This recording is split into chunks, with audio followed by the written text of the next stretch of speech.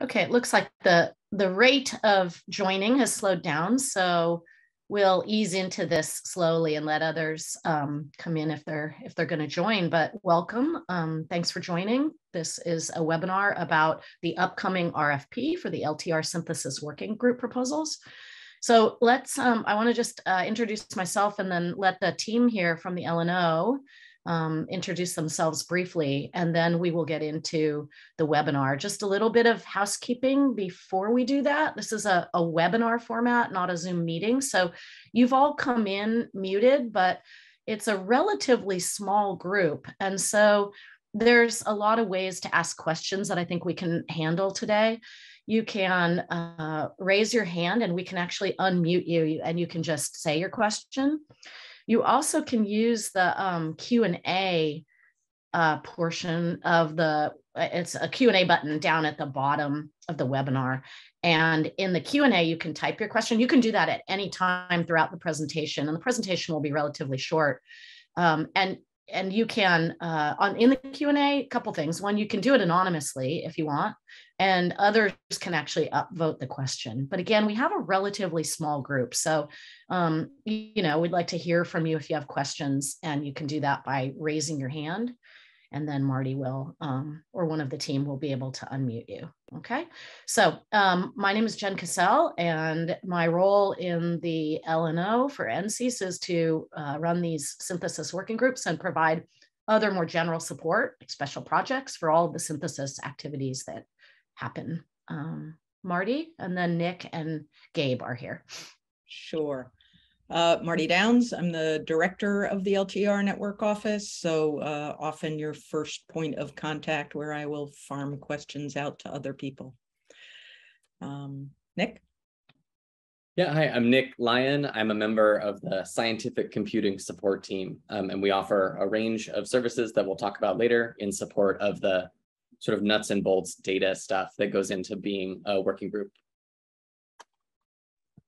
and I'm Gabe De La Rosa. I'm the digital communica communications coordinator here at the LTER network. Um, if you've read our newsletter or read something on the website or found something on Twitter, I probably had a hand in putting it out.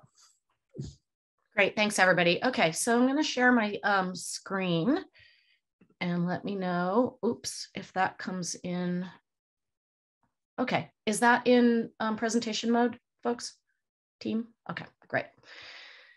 Um, okay, so uh, let's get right into it. Today we'll um, go over some of the details of the RFP and, and give you a chance to ask um, questions. We'll be introducing a new kind of working group proposal for this RFP that we're very excited about. I think the most important thing to remember, and it will be several, uh, you'll see this several times, is the deadline for proposal submissions, which is October 12th of 2022. It's a Wednesday, and those proposals will be due electronically uh, by 5 p.m. Pacific time. So we'll just keep reminding you of that. I just want to step back a little bit for those of you who may not be familiar or are less familiar with the LTER network and the network office. But basically, our overarching goals are to try to um, you know, create a network out of the network, enhance communication, collaboration, synthesis, training, and engagement across the entire LTER network. We are um, physically hosted and resident at the at NCEAS, which is the National Center for Ecological Analysis and Synthesis, and this is part of the University of California at Santa Barbara.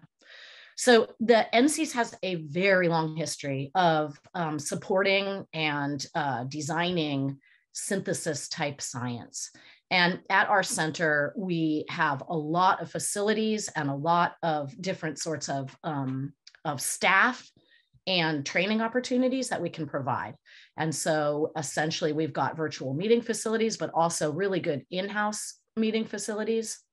Um, we have a great server setup where we can help working groups uh, manage their data, um, also teach you how to remotely access our servers.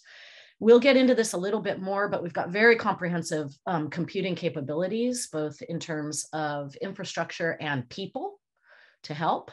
Uh, and increasingly, we're able to provide training and consultation for um, visiting scientists. That would be you all if um, awarded a synthesis proposal on informatics, computation, and, and collaboration skills. So really soft and hard skills. Um, we moved into a new office approximately one year ago now, Marty. Has it been a full year? Yeah, last summer. So really, really nice um, building in downtown Santa Barbara. We're located off the UC campus, UC Santa Barbara campus, and um, just can provide like it's not only uh, an excellent place to work. It's it is for so many reasons. It's just such a nice spot. It's beautiful and um, a really good place to visit and a really good place to to get you know really um, comprehensive work done. Okay, so to the proposal, uh, to the RFP itself, it is uh, focused on the LTER network. And so we're very interested in proposals that um, revolve around the five core LTER thematic areas and two emerging um, social ecological thematic areas. And these are here. But uh, primary production, population studies, organic matter, inorganic matter, and disturbance have been key LTER themes um, since the inception of LTER. Um, we're also particularly interested in the social ecological um, components of land use, land cover changes are one example, and human environment interactions, including um, urban settings. That said, proposals that are likely to return really high impact in other areas um, will be considered for the call. Okay, we'll talk about the, in a minute about the the typical full what we're calling the full working group, but I'm going to preempt that with a, a really exciting new um, proposal type that we're introducing this year. We're calling it SPARC Scientific Peers Advancing Research Collaborations.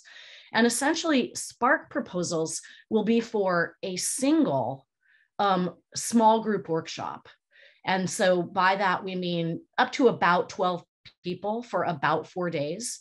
And, and unlike the full two year uh, research proposals or, or synthesis proposals that um, include several uh, meetings per year at NCEAS SPARC is for just a single small group workshop. So the expected outcomes from this type of proposal can be quite varied. Um, and we're looking for really creative um, proposals in this that that suggest uh, what what folks can provide as an output. So, for example, um, perhaps uh, a paper that's near completion or needs uh, a, a, really dedicated in-house like four-day meeting to get over the hump. Um, planning meetings for future research or for future papers uh, would would fit into a SPARC um, uh, perhaps. And also research coordination efforts. So, where a single meeting might be able to get a group together and really consolidate uh, moving forward as a collaboration or a coordination effort would all, um, these would all fit under uh, a SPARC. What we'll need to see is that.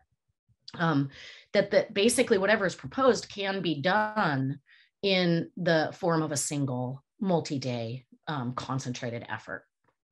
So while SPARC proposals will be budgeted for a single workshop uh, at NCEAS, that doesn't mean that there, there um, wouldn't be preparatory or follow-up meetings leading up to the in-house meeting at NCEAS and then following on to get the products done. And so we can provide logistical support, support for virtual preparatory or follow-up meetings for those. But again, um, the proposal budget will, will budget for one in-person meeting at NCEAS.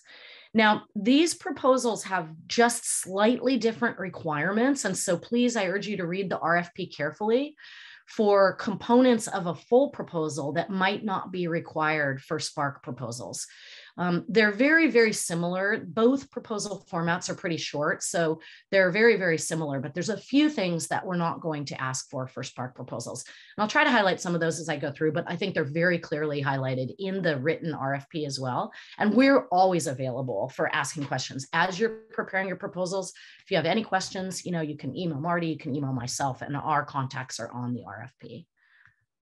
So here's just a little bit of an outline. I, I said I was going to go over what a full working group looks like, and we'll get a little more into this at the at near the end as well. But a full proposal is typically about four, sometimes three, depending on COVID, um, four day working group meetings uh, of about 12 people. So the full proposal is typically a two year duration, although a full proposal can also be put in for a one year project with a couple meetings. And so you as the as the proposer will have to decide whether you fit better in a full proposal or a SPARC proposal. Um, some of the meetings for these full proposals may be held offsite, and by offsite I mean away from NCEAS So they may you may consider an in-person meeting, but not at NCEAS Again, we provide preparatory and follow-up virtual virtual support um, for those. And the budgets for these are not to exceed about $110,000 for two years, so 55 per year. Whereas, as I said, a SPARC proposal is a single, approximately four day meeting of approximately 12 people. I keep saying approximately because there's no hard and fast rules here, but we know from past experience what tends to work best for these kinds of synthesis groups. And these are about the targets that tend to work best. The SPARC proposal meeting must be on site at NCEAS, and that's um, barring complete COVID catastrophe, which we will talk about, um, the, the way things are looking, um, the proposal should be, you should be proposing your single meeting at NCEAS. And again, the prep and follow-up support will be given and budget not to exceed about $20,000.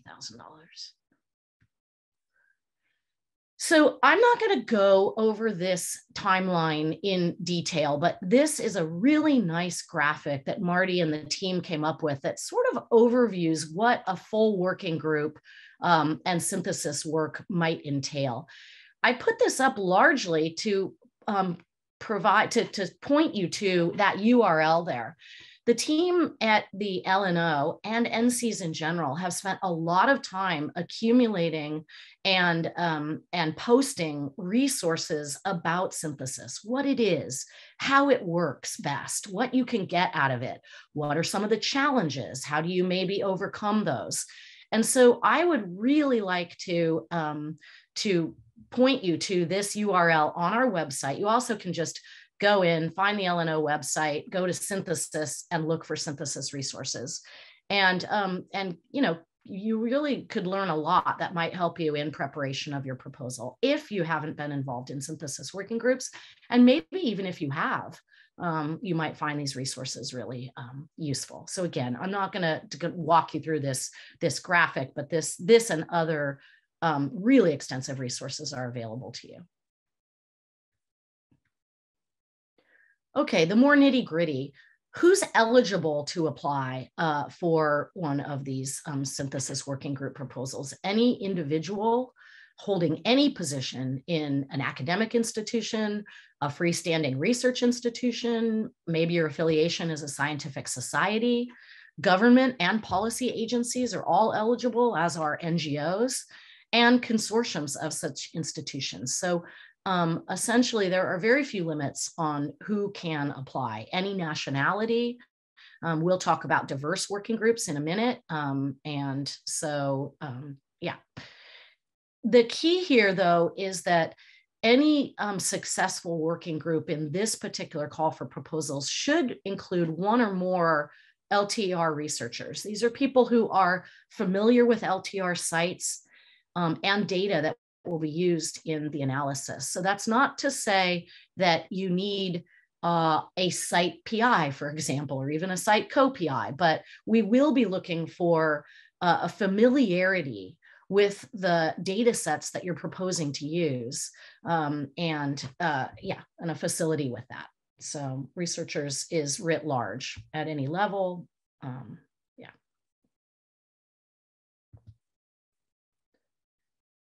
Okay, we've found in our, in our experience, a long experience at NCEAS, that uh, working groups that, that really that provide uh, or include a diverse array of participants are highly successful for a lot of reasons. And again, I'd actually point you towards the uh, LNO website and DEI resources, where we also have put together a lot of very specific resources um, and readings uh, and background on how diversity can really um, increase productivity and, and outputs from these kinds of synthesis working groups. And so with that in mind, we will be looking at um, the diversity of participants who are committed to the project. And um, we mean that taking into consideration gender balance, career stage, and any opportunities to include individuals from underrepresented institutions and groups. We also have found that increasing opportunities for EC, ECRs, early career researchers, and also graduate students can really propel a career for those younger, um, younger folks. So, or those early career folks. So we are um, interested in ways to increase opportunities. Graduate students have worked on synthesis working groups before. Many of our past working groups have been led by postdocs, um, and that's totally appropriate as well.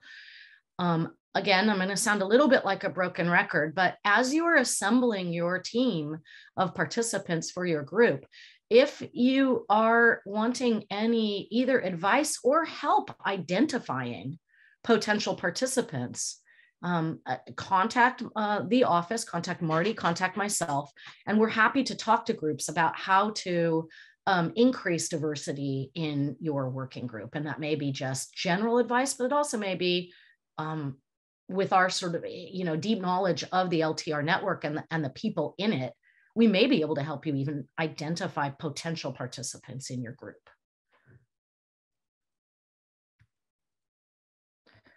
Okay, we have a, a, a few sort of prescriptive rules about the data that you're going to use, and we um, we require the use of existing LTER data from more than one site. So these, to be a true synthesis and take on really, um, you know, really um, wicked questions and really do synthesis the way it should be, uh, it, this wouldn't, you wouldn't be uh, proposing a single site um, data set. So, but beyond more than one site, we're not particularly prescriptive, but we also so basically two sites or more for LTER data. But we also really, really welcome the inclusion of other long-term data sets from other sources. This may be data sets from individual researchers. It might also be compiled data sets from other networks. Here's a few examples, CZO, NEON, OBFS, ILTER, or site data from an LTREB. Um, other looser consortiums such as NUTNet data has been used before and um, yeah, NewNet. So uh, basically, yeah, we're looking for a variety of different kinds of data, long-term data, um, and it can come from a variety of different sources, but we do require uh, L core LTER data from one uh, from more than one site. We also have uh, data um, network, we have data access policies. And so if uh, it, we encourage you to take a look at the policies and um, you must agree to these before you can uh, proceed with a funded working group. So basically the data access policy is linked here and you can find it at that URL. But in general, it's really important that groups document and make any of the derived data publicly available. And we can, um, on a fairly short timeline, but that's, uh, we can talk about that. That's in the data access policy. And we will help you do that. Um, we can help you uh, um, create metadata, can help you document in um, on EDI or uh, other repositories um, if, if you're already, if you're unfamiliar with that. So we can provide support for that. On that note, we find that it works well with our data science team who will be providing support to your working groups if each full working groups designates a data science liaison. So somebody that our scientific computing team can work with on the computing needs, collaboration capabilities, so just project management, but data management and processing, including what I just said, creating metadata and, and distribution, making your data public, but also analytical needs. So these are identifying a data science liaison is required for full working groups.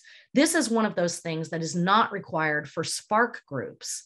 Although I will say that if a SPARC eh, a proposal is proposing some pretty heavy computing, in your one meeting that you're going to propose, it's okay to also designate a data science liaison and for some of the support that we'll be able to give. This could be, so this could be a PI, it could be a site IM, could be an early career researcher, or really any other working group member who has agreed to fulfill this role and support and training will be provided for this. Now, I want to pop out now to see if Nick Lyon, who's part of our um, data science team and, and supporting these working groups, has anything to add here, Nick? Sure. Yeah, I would say, um, yeah, crucial to identify a single person, but that doesn't mean, you know, were you to get funded, that doesn't mean that that person has to be the sole point of contact. Um, uh, current working groups have had success with uh, like sub projects, either individual sub papers or sometimes down to specific tasks, have had like a specific point person who isn't necessarily the specified data science liaison. So don't don't feel as though this person would need to carry the total weight of communicating with our team. We, we don't buy, we're happy to talk with anyone on your on your group. Oops, sorry. Great, thanks, Nick. Okay. Is this, again? would this be a good time for Nick to talk a little bit about the kind of support that is available? Yeah, I think so. I, I think so. I was going to see if any questions had been queued up at this point, but I don't see any in the yeah. Q&A. And Marty, you're tracking the hands up. So yeah, I think it would. Um, this is a really important part of these working groups. It's a place where we can really, really help your groups and also provide some formal training as well. So it, there's a lot more that that you know you can get out of these synthesis working groups. So this would be a good time. So Nick, do you want to do you want to go on a little bit more detail about both training and uh, the computing um, capabilities of your team? And we should just call out to Julien Brun as well as another member of this team um, and Angel Chen, who are not here on this working group. So Nick is, I'm sorry, not here on this webinar. So Nick is um, is representing a larger team here. Yeah, absolutely. It's not just me. Um, yeah, so I would say on the on the training front, uh, we offer like workshops. Um, so far, they've only been in the sort of two hour territory, but we could go longer potentially if that was of interest to your group. And those workshops can be on things like programming in the tidyverse in R, um, we've done a GitHub workshop that was quite successful. We're also happy to build tutorials if you'd rather have something that was a little more standalone. Um, in terms of the actual synthesis support, we're capable of working directly with you. So we sit down next to you, we jump on a Zoom with you or multiple members of your team, and we work on some specific analytical challenge that you have. But we can also function autonomously. Um, some of our existing working groups have said, oh, you know, it'd be so great if I had land cover data from all of the regions that I'm working in. And they said, can you go find that for us? And so we found a couple of sources and then had a dialogue with them about which source best fit their needs. And then eventually, after that conversation concluded, we showed up with a ready made set of precisely the data that they required. So, sort of that gradient about how much autonomy you would want to give us. Um, I would say the only caveat is while we're happy to help with data wrangling, to some extent, our primary purpose is analytical. So if you have some substantive wrangling challenge to then get to a synthesis thing, that's great. Um, but if you're trying to do sort of an ongoing wrangle this site, now wrangle this site, that's the sort of thing where we might try and instead offer some sort of training support to help you feel uh, more confident in doing that uh, more on your own. Um, am I am I missing anything? I feel like that was the the two. We have the science, the synthesis support, and we have the training support. Uh, I think maybe just the idea of sort of the concentrated effort on a particular task. So the um, um, yeah. the we're we are very excited. Having analysts on board is a relatively new thing at the network office uh, and we're really pleased to be able to offer some sort of concrete analytical support. And one of the ways that that is working is that a working group will request a sort of uh, i forget we had we had sort of a clever name for them but i think they were analytical sprints. Sprints exactly. So uh, a short term um, this discrete project you know, might require an analyst for a month or six weeks, pretty much full time. Uh, and you can sort of submit those requests through Julien and we'll negotiate a little bit about timing and, and who's going to work on that. But um, keep that in mind as you're putting proposals together um, that that it isn't that you're going to have to pull a grad student or a postdoc off of whatever else they're working on for that chunk of time. Uh, and we do, Jenn, if you want to pause for a minute, have a question in the Q&A.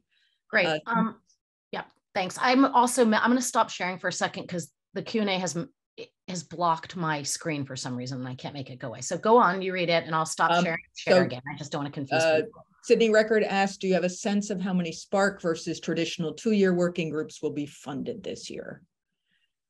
Um, I think I can take we that. Do. Have uh, we're saying two to four of either, and it depends a bit on the balance of the quality of the proposals that we get. That's right. And we'll get to that at the end too. I think we have that in a slide, but that's that's correct. Yep.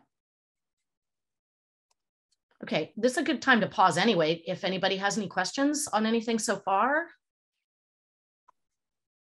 Data science. Okay, well, we'll have we'll have time as well at the end. So moving on. Um, I've removed the blocking Q&A out of my way. So, okay, so there are some fairly specific rules on what can be funded and what cannot be funded, and this is important. So these, um, this funding is dedicated towards um, meeting travel and lodging and per diem. We um, have been able to fund some publication costs as well towards the end of projects or even after. Um, and the LNO, to be clear, reimburses actual expenses. Um, and that's all, all work, that's all reimbursed through the LNO office. What is not appropriate and cannot be funded by um, this mechanism, this RFP and this, these synthesis groups is any collection of new data or field research, um, and as well as any overhead or funds to be spent by the investigators at their home institution. And then as well, activities that primarily address the, the sort of stated goals of another organization. And then in answer to, was it Sydney's question? Um, this is what we think we're looking at for this RFP. And again, it will depend on the budgets and so forth, but two to four full groups that um, are up to a two-year duration and maybe three, maybe, or three, maybe four SPARC groups for that, that um, designated one year, one meeting. Marty, do you have anything to add to this in terms of other funding requests that have come in that we can't or cannot um, fund or can potentially fund? Um, no, I, th I think that's pretty clear. Uh, the the bottom line is basically that we we are able to, that we fund the work directly rather than giving you the money.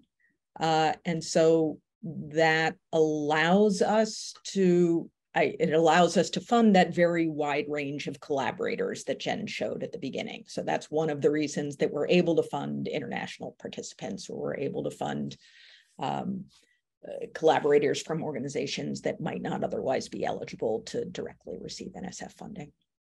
Right. Okay. Um, okay, no uh, webinar having to do with upcoming meetings would be complete without some discussion of COVID. We can only say what we're doing now. We cannot predict the future.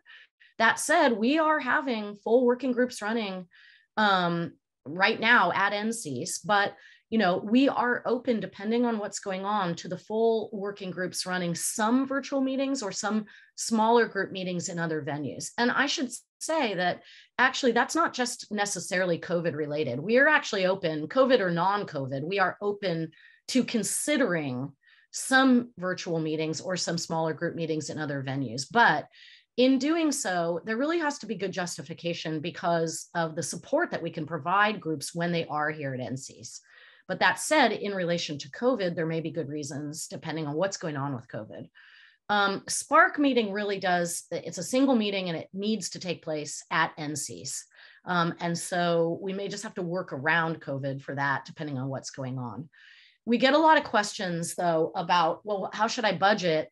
And we we want to see budgets that budget as if all the in-person meetings will proceed in California um, or a meeting or two in other locations close to the institutions. So we don't want to see a lot of, of uh, we basically are looking to budget as if COVID is not going to be a consideration, as if travel is okay. And we will work with teams to redo budgets if we need to, depending on what's going on. Um, we can, again, I've said this several times, we can provide, um, you know, increased technical and logistical support and training for the use of virtual meetings and virtual collaboration if those do need to proceed. Um, but uh, we can't, we can only say what's happening now, which is NCEAS is, is fully open. We are running full working group meetings um, back to back in some cases, and it's all gone okay so far. Um, we have been able to do hybrid meetings a little bit better. So working groups are able to uh, zoom in a participant or two or three or however many with um, with most of the team in uh, person. So, but I think the biggest point here is budget as if you're doing in-person meetings at NCEAS.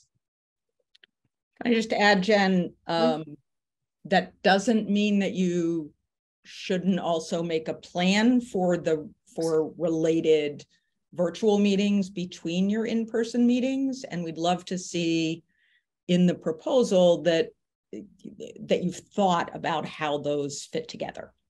Um, the virtual meetings, which we're all much better at these days, can really help keep the momentum going between the in-person meetings. Right. Thanks for that, Marty, for sure. And we can help you with with support for those meetings, either technical, um, mostly technical and logistical. So, so uh, question in the Q and A.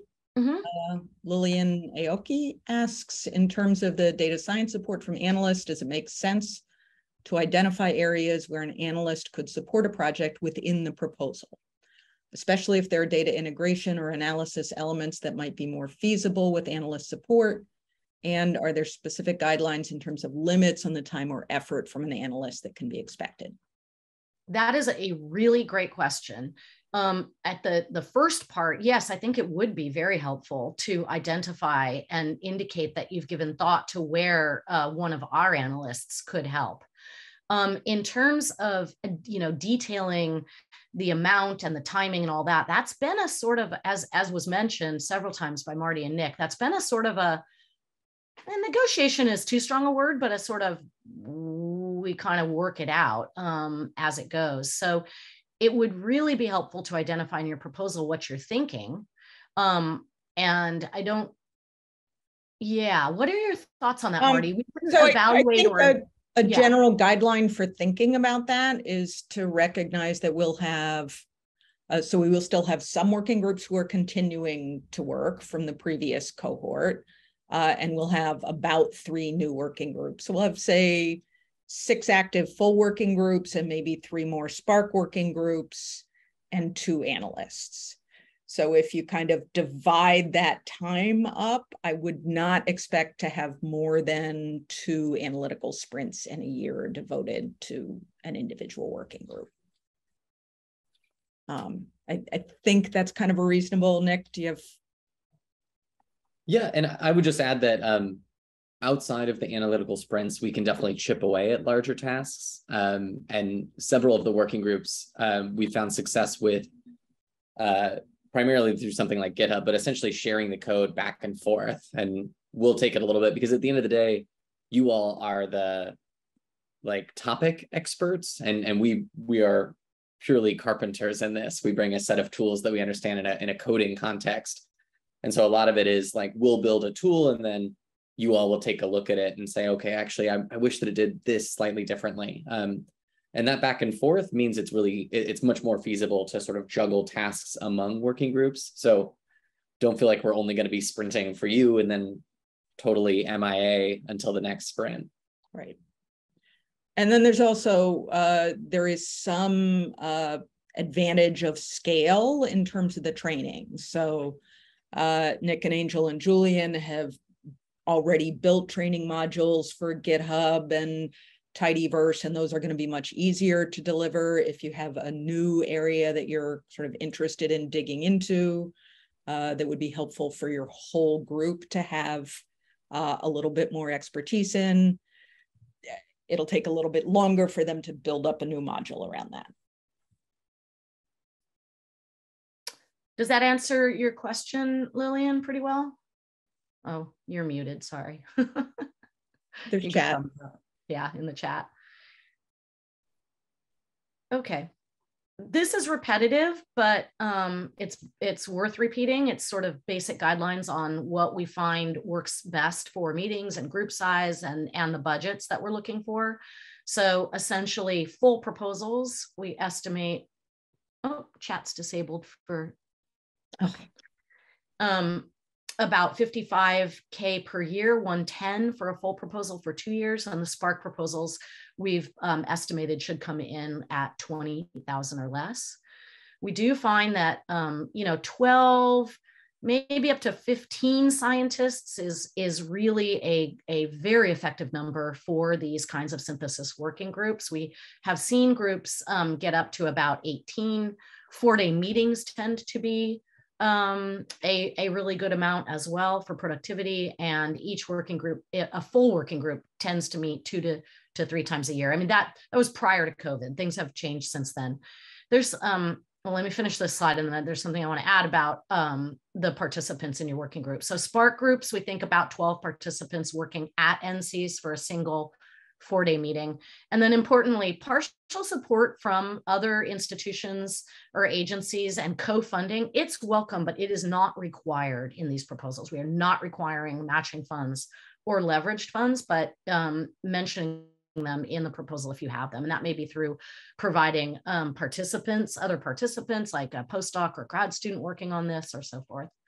Um, I do want to say though that um, and Marty, you can you can follow up on this and probably articulate it better than I can. But in terms of the size of your working group, we also have found that you know there may be subgroups within your groups of people with particular expertise and so you know we've seen groups get up to about 18 but you know 6 to 8 working together on one topic and at every single meeting not necessarily everybody has come to NCEAS as well so there are um, there are possibilities for i guess subgroups is the best way to describe it. Um, that said we still are going to be looking for a participant list and in the proposal documents there will be a table of this and whether folks are committed or not and what their expertise is.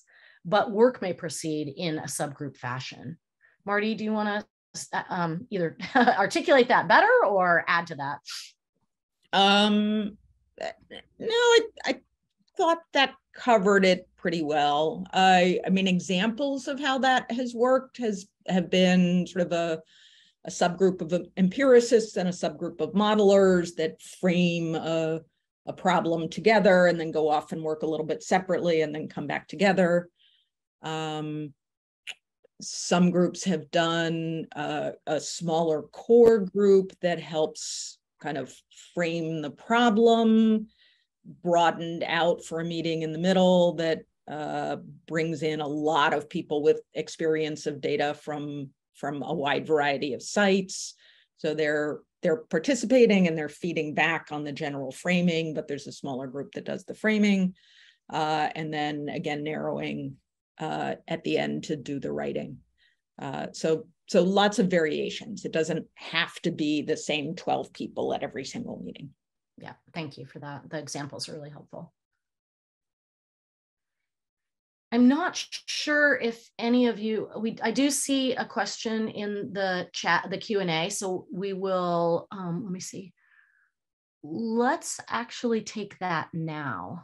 Can you read it, Marty? I'm still- Yeah, sure not uh, really when it comes to budget, how much should be reserved towards costs associated with hosting the meetings at NCEAS I.e., are there room rental costs and other fees that should be incorporated in the budget related to hosting meetings at NCEAS Uh, I see that there are budget lines for items related to meetings not at NCEAS. So does this mean there are no charges associated with hosting the meeting at NCEAS other than lodging, travel, and food? And yes, that's correct. Uh, so the cost of meeting rooms at NCEAS and snacks at NCEAS. And it's one of the reasons that we encourage having the meetings here is that those are built into the LNO budget. Um, so there, there can be good reasons for hosting meetings somewhere else. Um, we we think and experience shows that there are also a lot of advantages for doing it at NCEAS. One of which is that it's uh, it's much easier for us to connect you with other groups and other people and to sort of track what's happening with meetings and be directly supportive of that. Uh, but also it is super helpful to get away from your home institutions for a little while. Um, that that distance from you know the calls and the students and the and just the kind of mental space is incredibly helpful. Um, so there are a lot of reasons that it makes sense to have it here. Uh, there, there are sometimes reasons that it will make sense to have it somewhere else. We have, you know, uh, we've had writing groups of people that are all on the East Coast within an hour and a half of each other. Um, and, you know, and they're able to identify some place where they can all get off campus and meet together. And so we're not averse to that. Um, but but yes, it is, there are no there's none of that those charging for meeting rooms and coffee and snacks and all of that that you run into if you have to uh, if you decide that you want to meet somewhere else. Yeah, thanks, Marty. And I just want to add to that that the budget, um, we've provided a budget template in the downloadable information for this and for the RFP. And so hopefully that will help um, guide you in in understanding how much it might cost for travel and we've put approximate prices and things like that but we're also willing to to help you with that during your proposal preparation. So if you have any other questions on once you start looking into that template um, please reach out to us. Um, quickly if any of you we've this we've been doing this for quite a few years now. We made a pretty major change this year in in introducing the SPARC proposals but we also made some pretty um, big changes to the art to the um, the solicitation and what's required from some of the earlier 2016 to 18 RFPs. Um, and those are just briefly, and again, this is a little bit repetitive, but we've moved a the data sources table out into its own document and it's no longer required in the word count for your proposals. These are pretty small proposals. They don't have a huge word count. So um, now it's it's more clear where you can put uh, what data sets you it, you anticipate using or are sure you're going to use. As we've talked about, we every year we have upped the role in, um, of the support and training for, oh, sorry, we used to call it the technical liaison. We're calling it the data science liaison now and the workflows. And then again, here's that link to synthesis resources on our website. And we put a lot of effort into compiling and curating those. So I really urge you to go, um, you know, and a lot of this is from our own experience running um, these, these synthesis working groups. Okay, probably what you're all interested in is what, what are we looking for? Um, how, are, how are proposals evaluated and what are they evaluated for? And again, this is um, pretty clearly written out in the RFP, but basically we, at the highest level, we are looking for um, strong scientific merit and novel approaches and in particular contribution to LTER network science. This funding comes um, to support the LTER network, so um, there's got to be an LTER component to it. Um, we, as mentioned before, are looking for participant diversity um, and also participant expertise, both scientific and technical. So proposals will be evaluated to see is, is this the right group to do what uh, the proposal is um, proposing to do. So is the expertise there?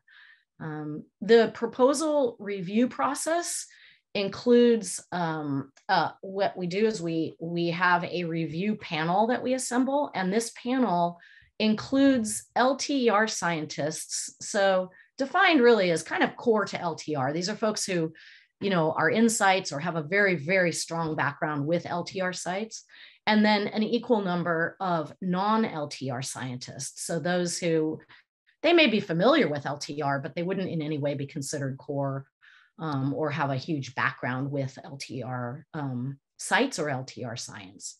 The panel um, reviews, every proposal is reviewed by um, at least two, but usually way more than that um, of this panel. And then the panel meets to uh, come up with a prioritized list, but the final list of, of yeah, a ranked, a ranked list of proposals, but the final decision on funding is made by the um, LNO executive director in consultation with the chair of the executive board. Um, and so the um, the uh, list and the panel discussions and the notes will be provided to those um, two folks who will make the final decision. We sometimes come in um, after or we come in during the whole panel process and um, talk to proposers about modifications to the proposal. These may include adjustments to the working group size or the composition. This sometimes is meant to be helpful with if we know about additional data resources that might be available and um, more infrequently adjustments to uh, the budget as well. So I know there may be maybe questions about this, but we're almost done here and then we can open it up to open questions. Um, these are the key dates. Obviously today is the webinar, the proposal due date, really important, October 12th, 5 p.m. Proposals can be submitted electronically, but if anybody has any problems doing that, please contact us and we'll find other way to get your proposal to us before Wednesday, October 12th.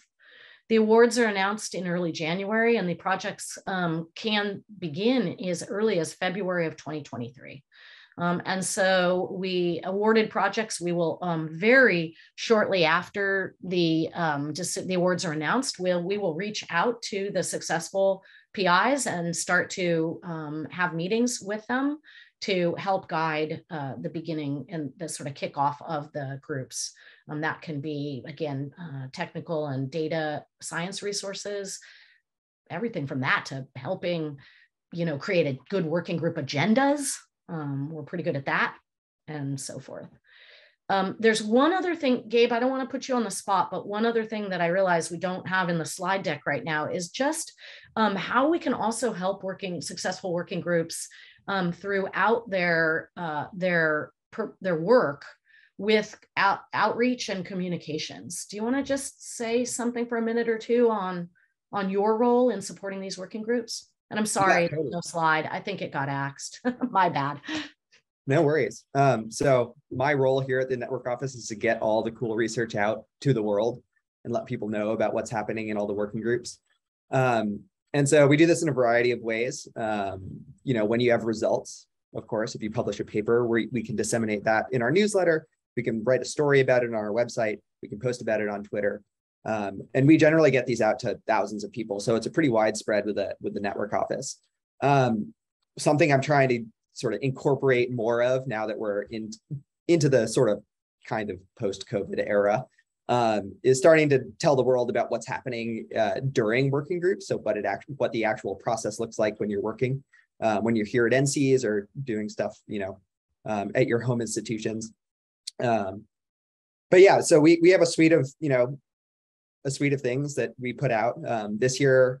A couple years ago, we did a, a series of webinars on uh, intermediate progress for all the working groups. Um, so they were little five minute overview videos, um, just having somebody speak, tell about what your working group's focusing on, what your plan is, what you've done already. Um, and we really like to sort of get people uh, in the know on what the nitty gritty looks like, what these, uh, what the the year one progress is on a two year project or something. Um, and so there are a variety of ways we can get this out, and we have a huge reach. So um, we're totally willing to work with you. And uh, yeah. Great. Thanks, Gabe.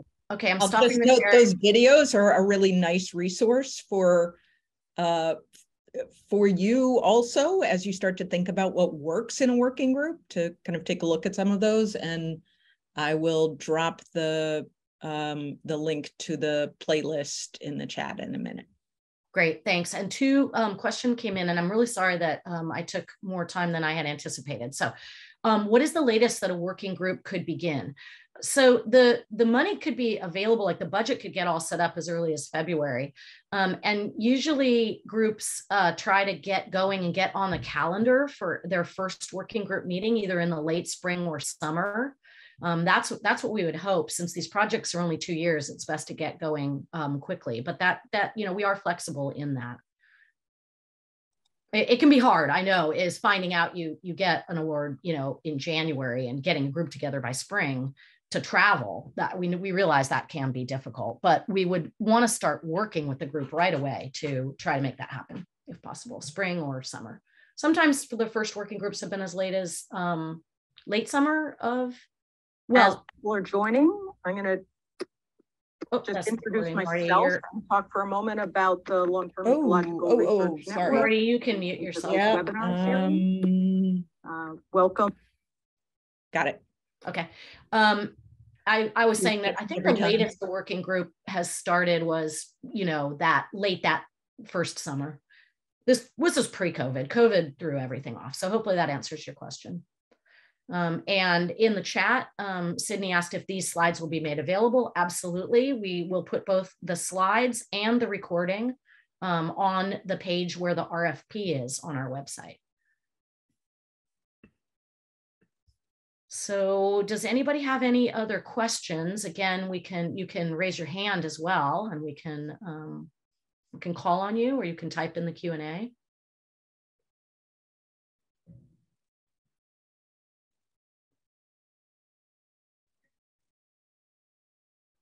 The other thing I did, I forgot to mention that would be quite useful is um, have a look at the uh, past working groups, the currently funded groups and the past working groups on the LNO website, you can see what has been proposed in the past. And one thing that's already really, really neat and starting to happen is as those prior working groups have put together um, big data sets and data resources and they're made available, we, we really encourage the building of these new groups on the work that some of the other past working groups have done. So perhaps another working group has created a really great data data package or a, a you know a data set that's now clean and ready to be used. Maybe it could be used for totally different questions. Um, and and that would be great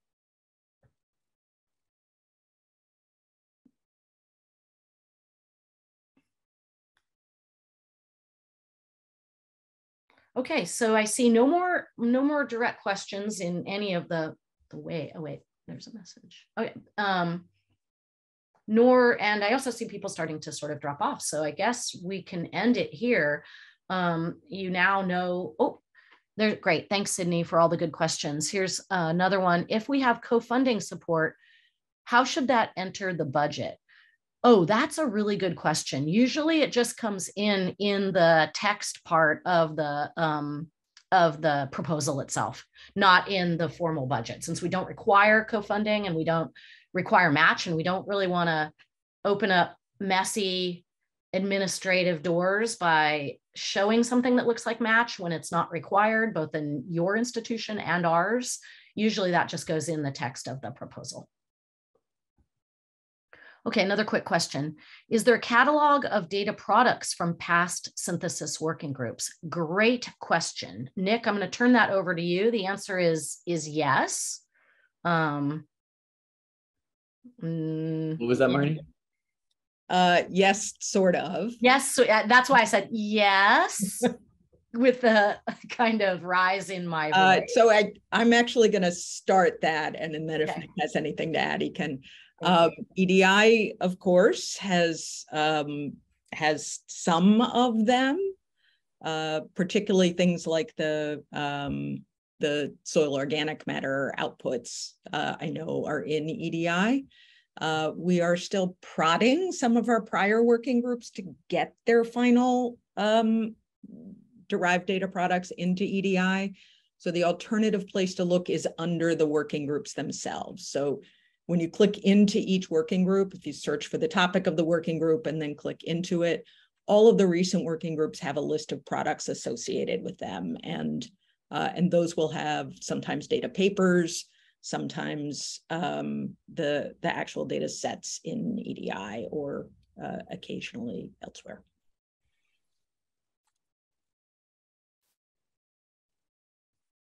Yeah, thanks, Greg, for that.